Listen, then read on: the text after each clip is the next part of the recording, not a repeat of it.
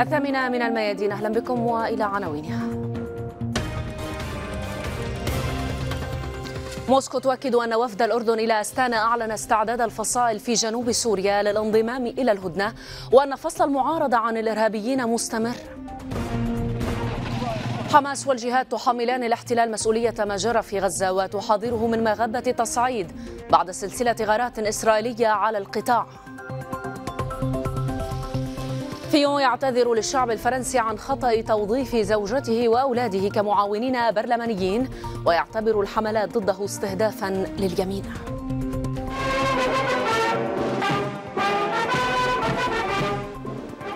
وتونس تحيي ذكرى استشهاد بالعيد الرابعة والسبسي يصفه بزعيم الثورة ويجدد الثقة بكشف حقيقة اغتياله.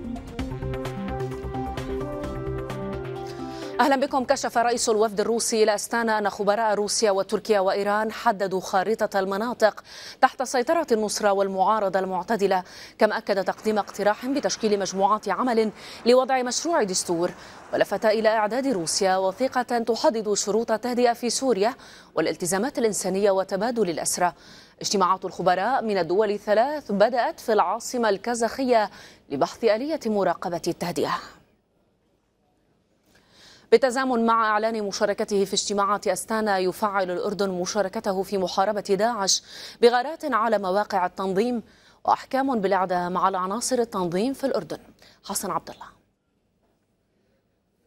الأردن طرف جديد يشارك في اجتماعات أستانا في حلقتها الثانية على مستوى الخبراء وذلك لتثبيت وقف النار في سوريا. تطور يدفع إلى الاعتقاد بأن عمان انضمت إلى خيار البحث عن مقعد في قطار وقف الحرب في سوريا تمهيدا للمفاوضات السياسية. يعني ذلك أن عمان ربما قررت التخلي عن أداء دورها السابق في المشاركة في إدارة الجبهة الجنوبية ضد الجيش السوري عبر غرفة عمليات موك وعن الحروب التي أدارتها للنيل من العاصمة السورية. موسكو التي هيأت ونظمت بالتعاون مع إيران وتركيا اجتماعات أستانا سعت منذ البداية إلى إشراك الأردن في جهود وقف النار في سوريا لمعرفتها الوثيقة بأهمية الدور الأردني وبتأثيره في قرارات مجموعات مسلحة كثيرة كان يأتيها الدعم والسند من طريق عمان في السنوات السابقة. وبناء على هذا المعطى الجديد يتوقع أن يبدل قادة فصائل فصائل الجبهة الجنوبية ملابسهم تمهيدا للمشاركة في لقاءات أستانا.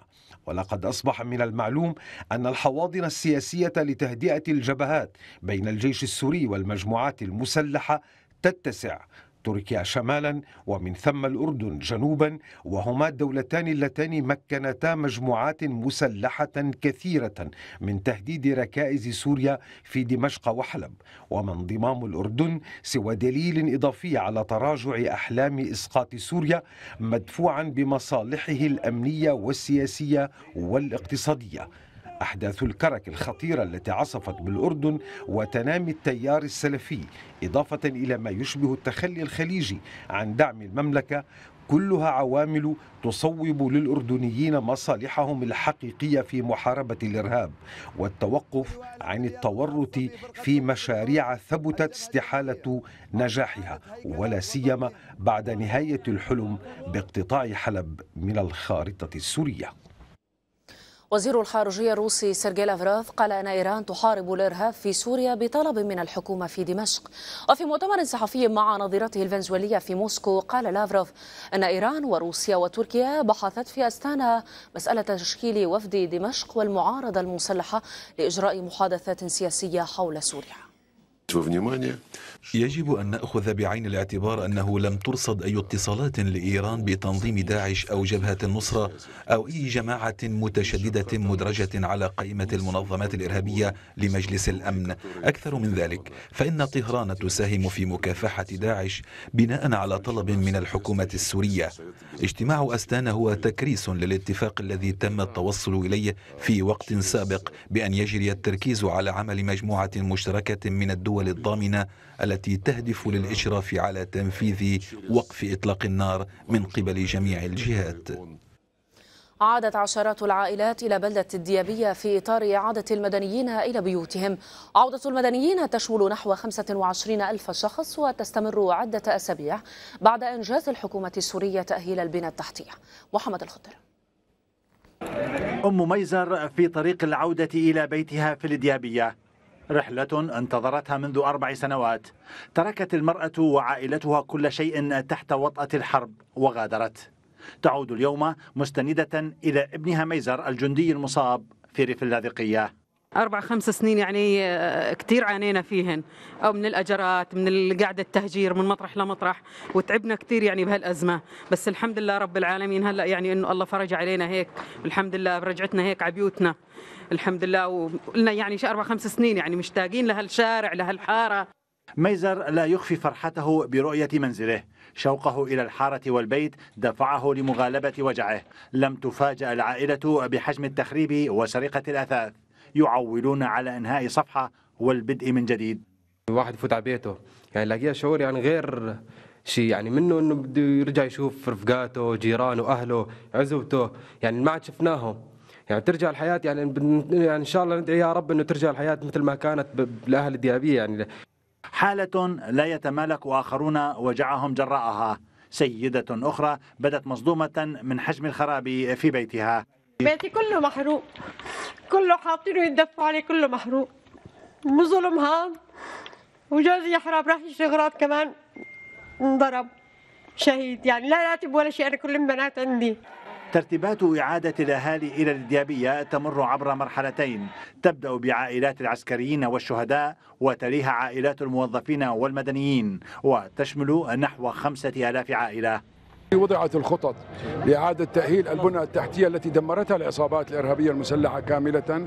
بالتنسيق مع السيد رئيس مجلس الوزراء والسيد وزير الإدارة المحلية والجهات المعنية تم تأمين الاعتمادات اللازمة وتم إعادة تأهيل كامل البنى التحتية بحيث سيجد أهلنا المواطنين لهم حين عودتهم أن كامل الخدمات ستؤمن لهم. نحن مستمرون في عودة الأهالي إلى جميع المناطق التي حررها الجيش العربي السوري. عودة الأهالي إلى الديابية توسع حضور المدنيين في ريف دمشق الجنوبي وتكرس حالة أمان وأعمار يتولاها الأهالي على مدخل العاصمة الجنوبي. محمد الخضر من الديابية في ريف دمشق الجنوبي الميادين. سلسلة غارات شنتها الطائرات الإسرائيلية اليوم على قطاع غزة. آخرها استهدف شمال غرب القطاع والمناطق الشمالية لمدينة غزة. وكان قصف إسرائيلي استهدف موقع الإدارة المدنية شرق جباليا شمال غزة. قوات الاحتلال كانت أطلقت نيرانها الكثيفة على مرصد كتائب القسام شرق حي شجاعية بعدما استهدفت مدفعيته نقطتي رصد للمقاومة شمال بيت لاهيا كما تحدثت عن سقوط صاروخ على عسقلان مصدره القطاع. حركة حماس والجهاد حملتا الاحتلال الإسرائيلي المسؤولية الكاملة عن تداعيات التصعيد الأخير ضد قطاع غزة. مسؤول المكتب الإعلامي في حركة الجهاد الإسلامي داود شهاب أكد للميادين أنه تجري مراقبة التطورات عن كثبة المقاومة ستقوم بدورها وبوظيفتها وبواجباتها. لحماية الشعب الفلسطيني والرد على الاحتلال. لكن إحنا لا نريد الآن أن نذهب بكل تأكيد ولا نتمنى التصعيد ولا نتمنى الحرب بالمعنى. لكن آه، إذا ما فرضت هذه الحرب وإذا ما ذهبت إسرائيل إلى ما هو أبعد من ذلك في تصعيدها حينئذ آه، ستكون المقاومة كما قلت آه، ملزمة أن تقوم بدورها وبواجبها وعلى إسرائيل أن تفهم هذه الرسالة جيدا. إنه المقاومة الفلسطينية لن تسمح لإسرائيل بالعبث في أمننا وفي حياتنا، أنا أشكك في الرواية الإسرائيلية حول إطلاق صاروخ من قطاع غزة، ما يجري الآن من قبل إسرائيل يبدو إنه تصدير للأزمة التي يعيشها طيب. نتنياهو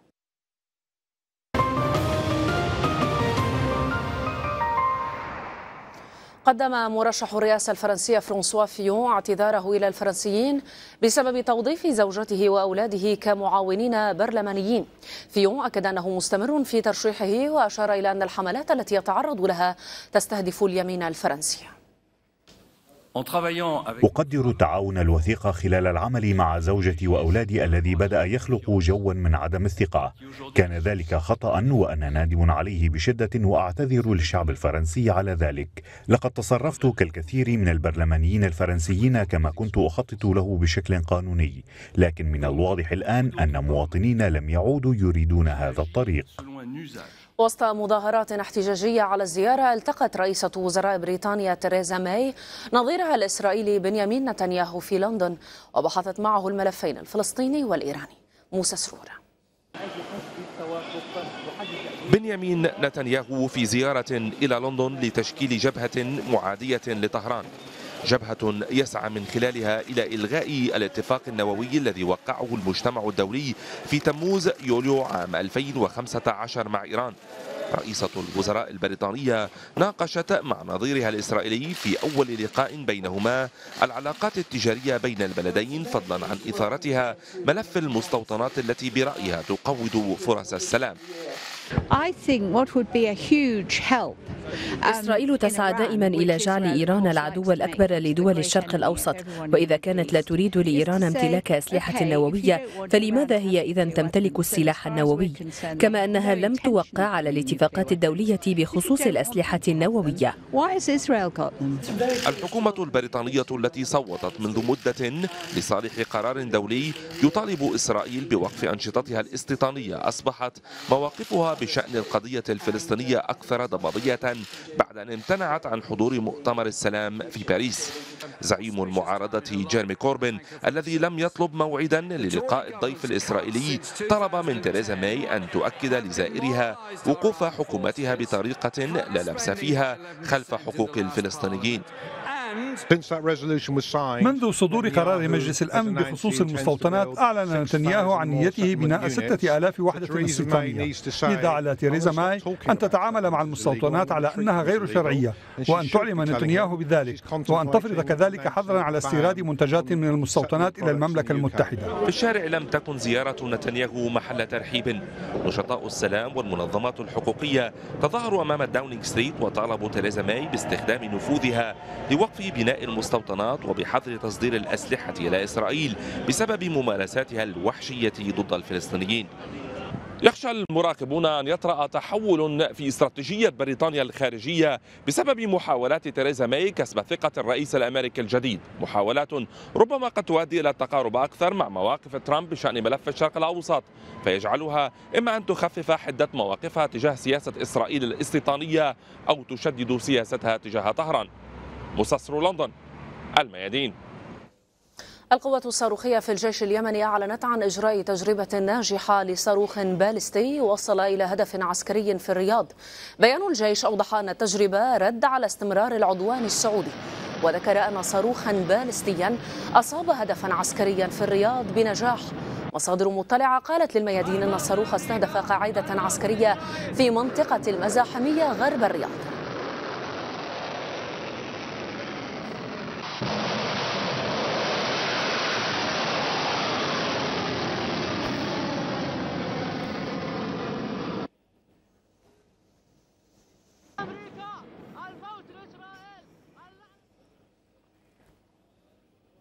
فاصل قصير ونتابع بعده هذه النشرة.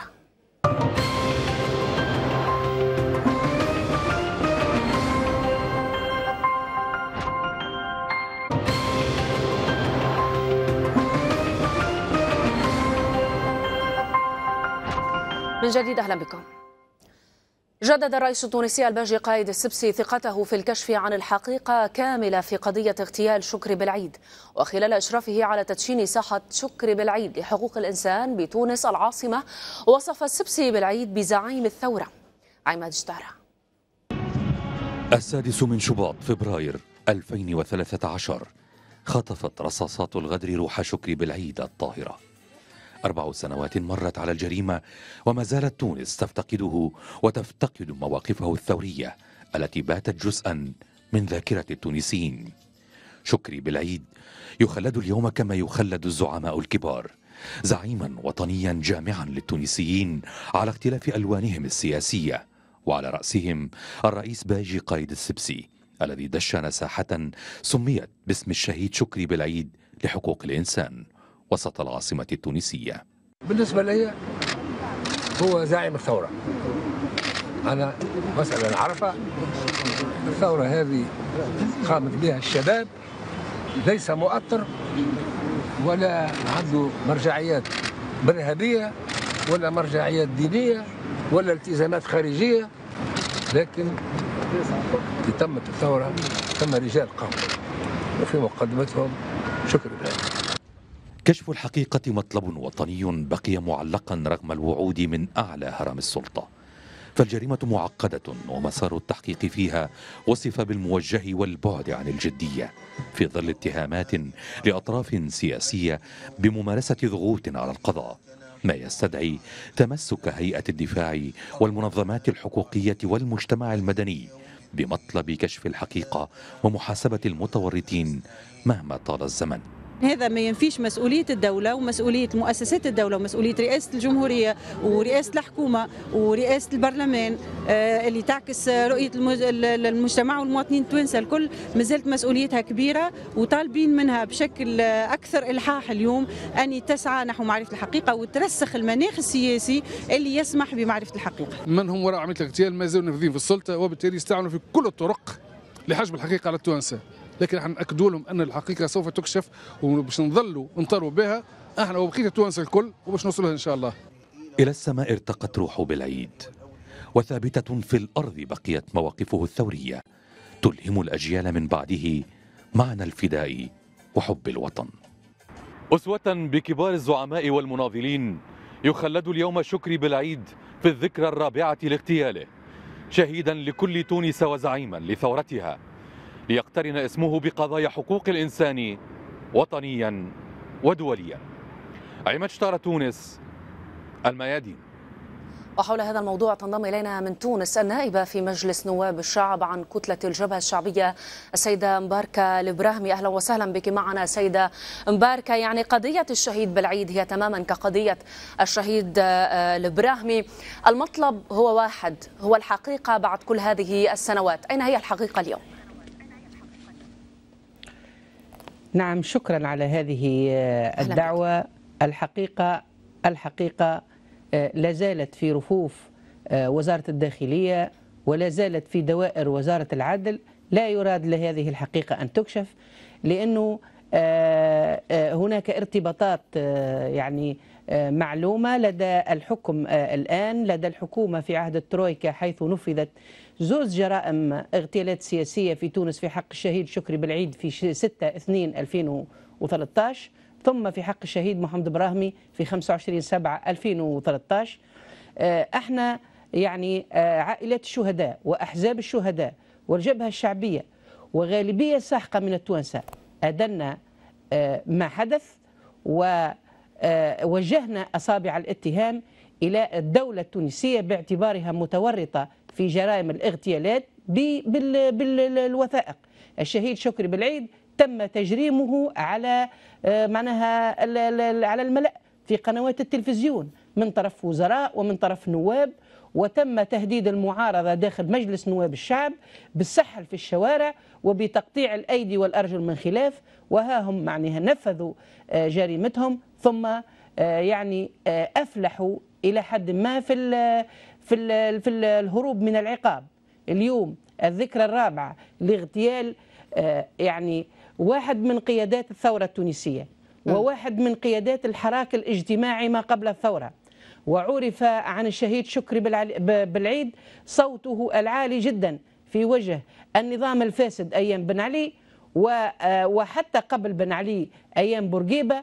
وخاصة تمت المواجهة بينه وبين حكم الترويكا في السنوات الأخيرة بعد الثورة بعد أن استتب للإخوان المسلمين الحكم وبدأوا في تصفية معارضيهم أملا في تحقيق ما وعدوا به الدوائر الاستعمارية والرجعية العربية والصهيونية أيضا من استتباب الربيع آه، العربي. ولكن يعني آه، خسئوا آه، سيزهر الربيع طبعا ولكن ليس ربيع الإخوان المسلمين الدموي. يعني أفهم منك أن هناك أطراف هي التي تقوم بهذا الضغط لكي تبقى هذه الملفات في أدراج آه، العدل والداخلية وليس كما يقال أنه مسار القضية معقد.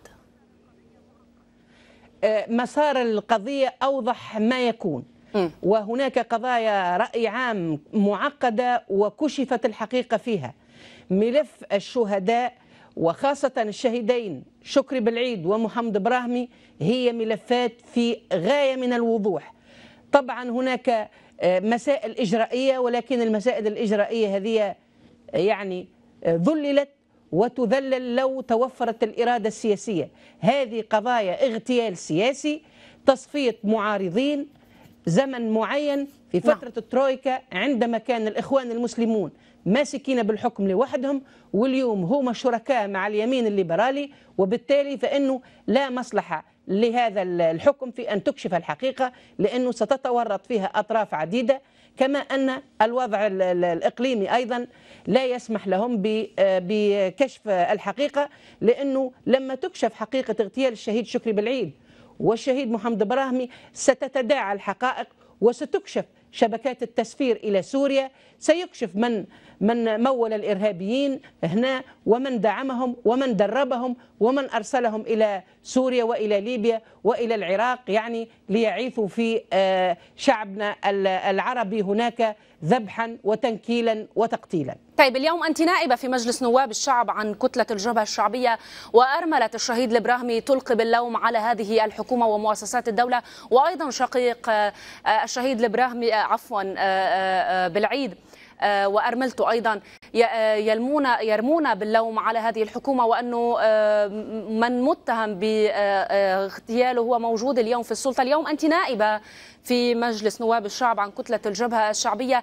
ما الحل أمام هذا الواقع الذي تتحدثين فيه؟ هل هو الصمت والانتظار فقط لتدشين ساحة أم يجب اللجوء إلى حلول أخرى منها؟ كان البعض يتحدث لماذا لم يتم تدويل هناك جهات دولية معنية بكشف حقائق لهكذا جرائم.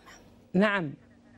هو بدءا آه، آه، مسألة ألقي باللوم أننا نلقي باللوم آه، آسفة هي ليست دقيقة. نحن نتهم. نحن وجهنا الاتهام إلى أطراف سياسية سياسية معينة بتورطها في الإرهاب.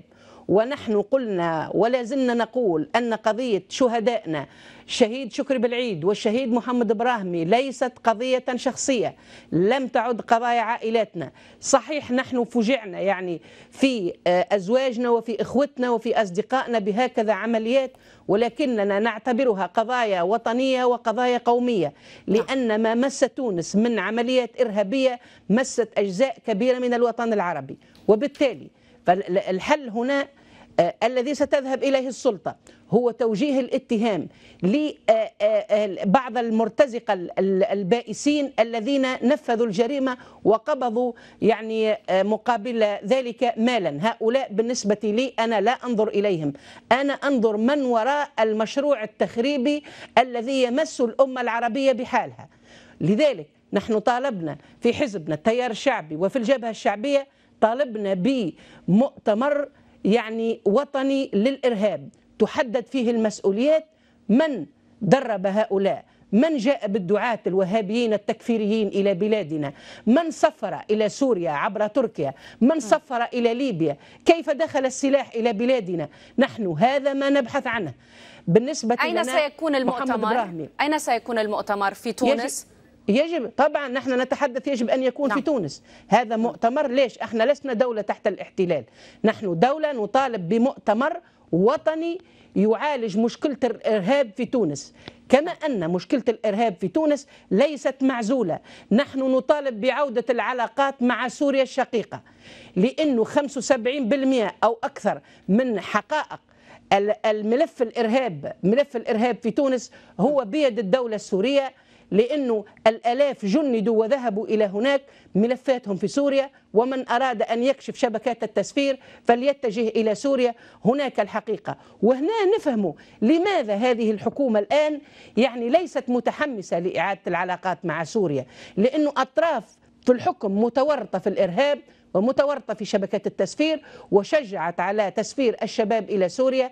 هؤلاء ما زالوا في الحكم الآن ولا يريدون أن تعود العلاقات مع سوريا. كذلك أيضا نحن نطالب بأن يكون للدولة التونسية إذا كانت هناك نوايا صادقة في محاربة الإرهاب نطالب أن تكون للدولة التونسية دور إيجابي وفعال في الملف الليبي عبر حوار آه، وطني ليبي. ليبي لا يقصي أي طرف وعبر أيضا أن لا تبقى الحكومة التونسية والدولة التونسية مرتهنة لجماعة اسمها جماعة 17 فبراير الليبية هي اللي ساس الخراب في ليبيا وفي تونس أيضا يجب أن تكون الدولة دولة كل التونسيين وعلى الحكومة أن تكون حكومة كل التونسيين وليست حكومة أطراف معينة أو حزب سياسي معين برأيك سيكون هذا السيناريو سهل سيدا باركا؟ وله أجندات دولية سيكون هذا نعم؟ السيناريو سهل؟ هذا السيناريو الذي تتحدثين عنه في الخطوات المقبلة سيكون سهل. هذا يعني إذا كانت نعم الحقائق وضعت في أدراج الداخلية والعدل وهناك ضغوطات ما تقولينه اليوم هل سيكون بالسهل؟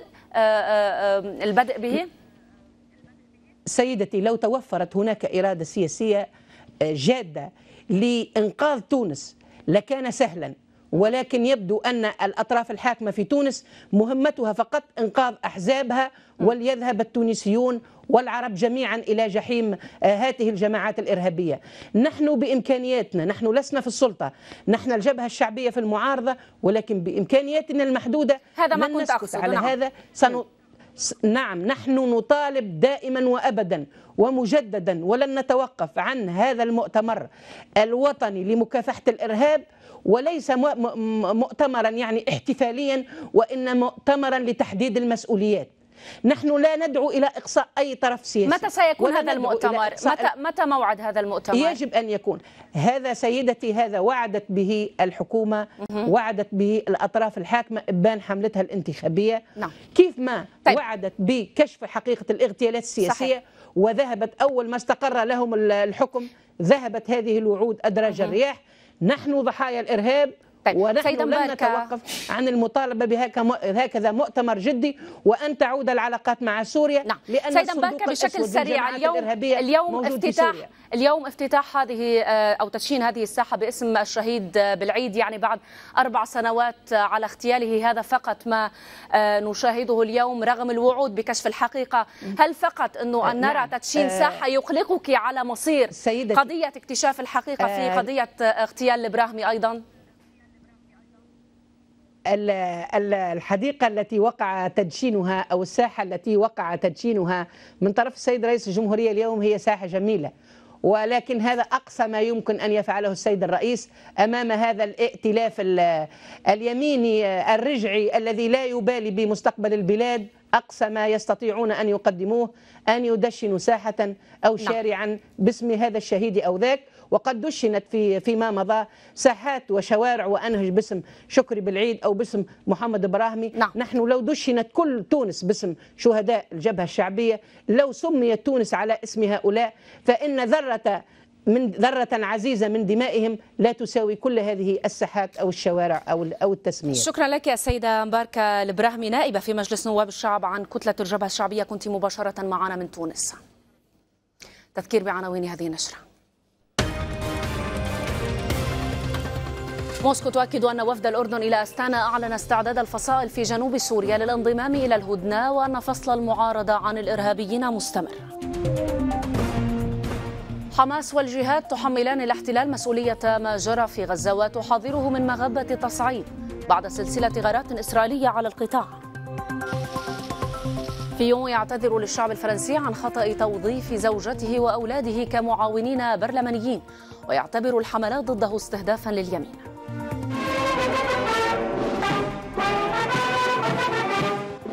وتونس تحيي ذكرى استشهاد بالعيد الرابعة والسبسي يصفه بزعيم الثورة ويجدد الثقة بكشف حقيقة اغتياله. المزيد من الأخبار والتقارير والبث المباشر على صفحة الميادين على الإنترنت الميادين دوت نت وباللغة الإسبانية إسبانول دوت الميادين دوت نت. شكرا لطيب المتابعة. إلى اللقاء.